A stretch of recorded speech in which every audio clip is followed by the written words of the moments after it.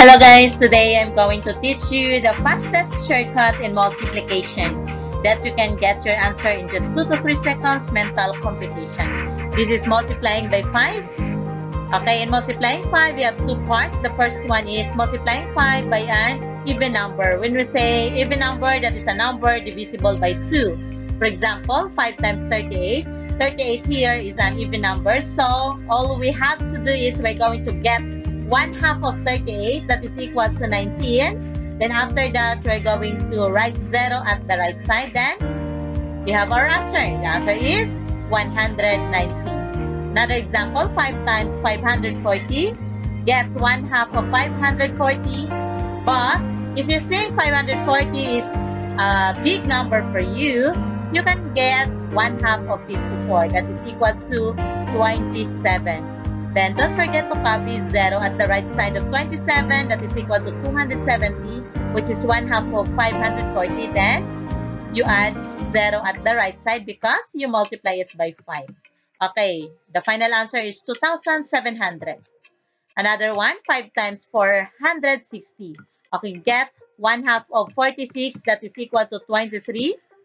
Then after that, copy 0 at the right side.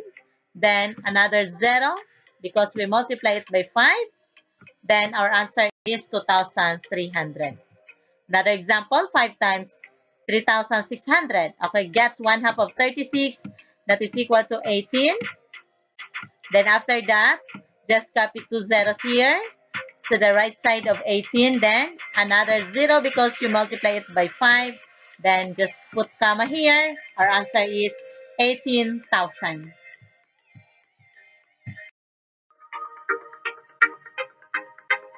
Okay, this is part B.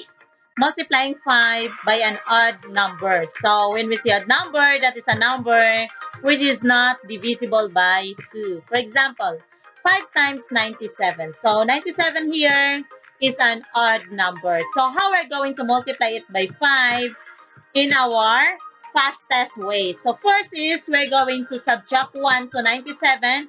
It becomes 96. Then, this is the time that we're going to take 1 half of 96. That is equal to 48. Then, we're just going to add 5 to the right side. So, our answer is 485. Another example. 5 times 109. Okay, 109 minus 1, that is equal to 108. Then, get 1 half of 108, that is equal to 54. Then, you're going to put 5 at the right side. So our answer now is 545. Another example, 5 times 225. So we're going to minus 1 225, that is 224. Then get 1 half of 224, that is equal to 112. Then you're going to put 5 at the right side. Then we have an answer of 1,125. Another example, 5 times 301.